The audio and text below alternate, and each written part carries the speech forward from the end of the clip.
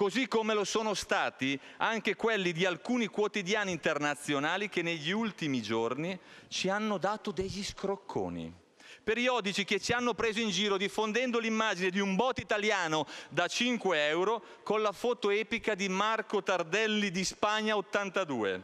Vignette che ritraevano Luigi Di Maio e Matteo Salvini come due malattie che si avventano sul corpo dell'Italia. Quanto possiamo accettare ancora tutto questo?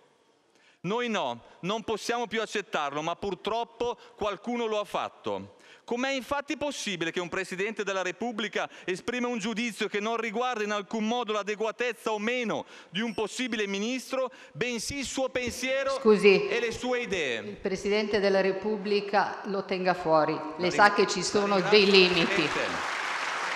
Tengo fuori il Presidente della Repubblica, ma non le sue responsabilità. Ci sono dei limiti costituzionali, non possiamo travalicarli. La ringrazio Presidente.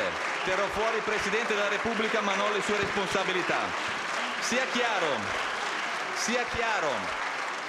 Nessuno, sia chiaro Presidente, nessuno in questa sede vuole contestare le prerogative costituzionalmente garantite del Capo dello Stato. In quest'Aula forse nessun'altra forza politica come il Movimento 5 Stelle ha lottato per difendere la Carta Costituzionale.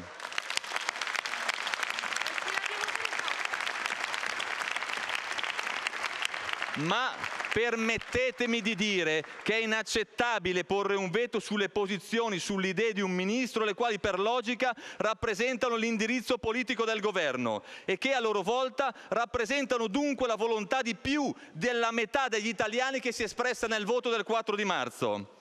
Non è che si può pensare di prendere la volontà popolare, metterla da parte e tirare dritti senza porsi immediatamente e minimamente il problema.